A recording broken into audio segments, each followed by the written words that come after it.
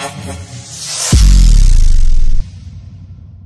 Mumbai airport के custom विभाग को बड़ी कामयाबी हाथ लगी है। बता दें कि कस्टम विभाग ने 11 और 12 अक्टूबर को करीब सात दशमलव आठ सात करोड़ रुपए कीमत का 15 किलो सोना और 22 लाख रुपए विदेशी मुद्रा को जब्त किया है।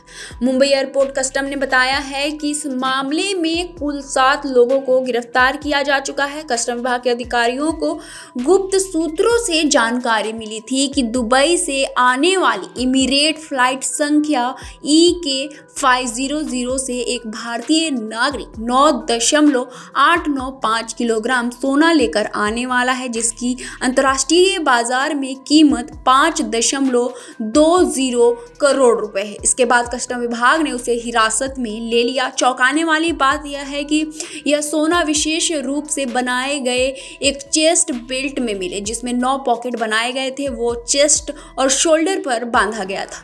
जाँच में पता चला कि यह सोना उस भारतीय नागरिक को दुबई एयरपोर्ट पर दो सूडेन के नागरिकों ने दिया था।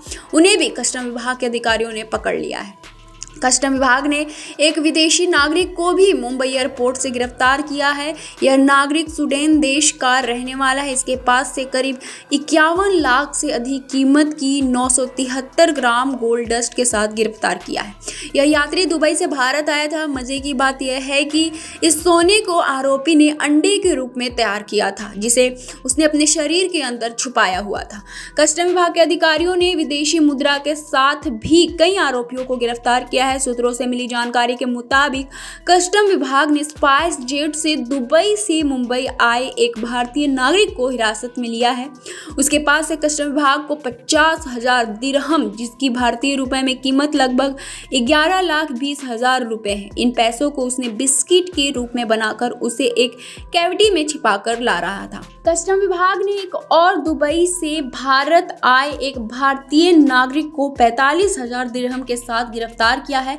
इसकी भारतीय मुद्रा में कीमत लगभग 10 लाख होंगे। यह आरोपी स्पाइस जेट विमान से भारत आया था।